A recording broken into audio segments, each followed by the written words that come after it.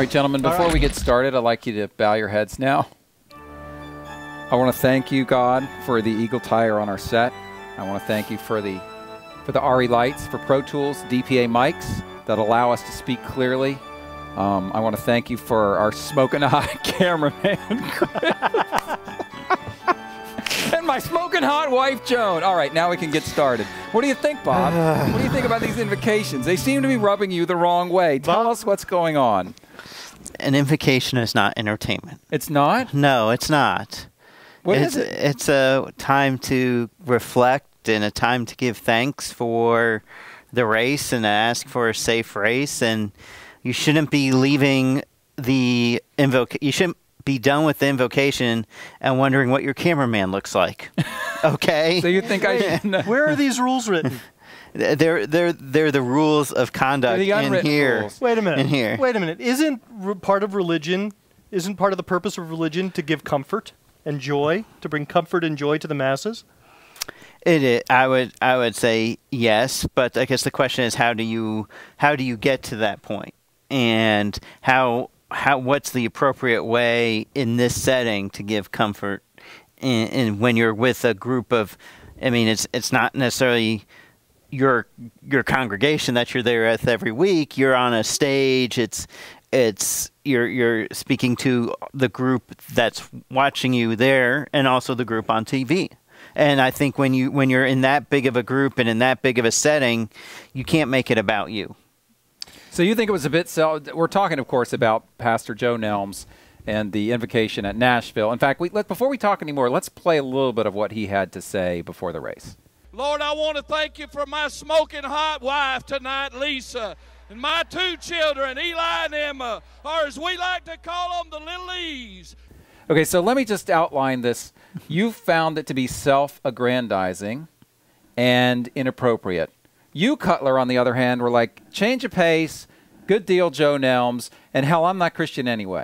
well, Pastor Nelm said on Sirius XM that look, maybe if I could make some people laugh, they would look anew at, at Christianity and think, well, maybe that's worth checking out. Maybe it's not so stu- stuffy and self-important, and uh, I should give it a second thought. And if you know that makes sense to me. The other aspect that uh, of this that I appreciate it is to me, prayer and religion is such a personal thing that when you do it on a grand stage like that, in some ways it becomes inherently exclusive. And so Pastor Nelms took an approach that I thought was more inclusive and sort of brought a more vernacular bent to the invocation. Wow, Bob, he's thought a lot about this. But you wrote a mm-hmm. column where you basically said the opposite, which is that was not appropriate what he did. No, it wasn't. Bad on And you, when- Joe I Nelms. mean, Is that and, what you said, and, Bob? Yeah, and uh, it, it almost sounded like he was a race car driver rattling off sponsors there in Victory Lane instead of instead Right. of giving a prayer. Was it that part that really bothered you? It good your tires the- more than the smoking hot wife? uh, the whole thing bothered me actually, and uh, yeah, and, and what, what I find really interesting is that you know is that the if you some people said, hey, it's great. He kind of put, put his own twist on the prayer.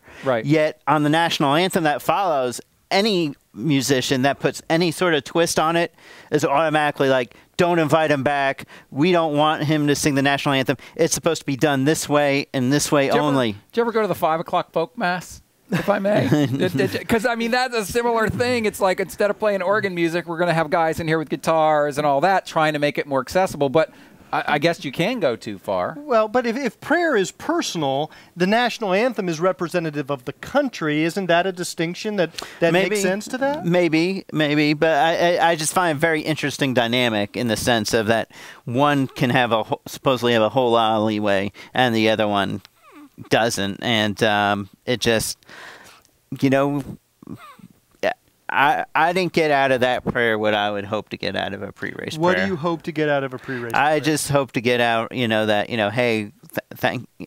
I liked it for me to think about myself and what I'm thankful for on that day.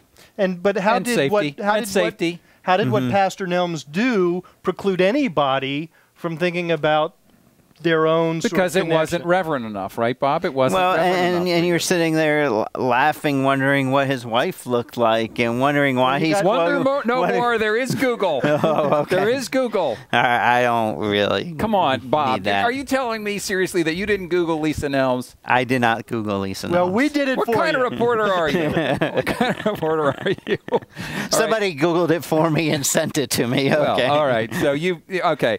I, I think it's an interesting actually exercise to talk about this. Hard to know. I think people want different things out of religion sometimes. uh, You know, and I think that's maybe what this comes down to is some people a little more comfortable with uh, something that's got a lighter bent to it, and some people want something a little more serious. And I think you can see that uh, a lot of times. You know, I I grew up Catholic, for example, and when I went to my wife's church, which was a Methodist church, it didn't have like the ceremony that I was used to.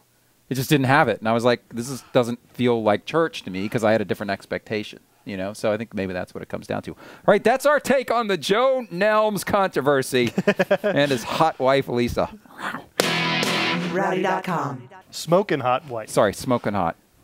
Say it like it is. Say what like it is? Rowdy.com.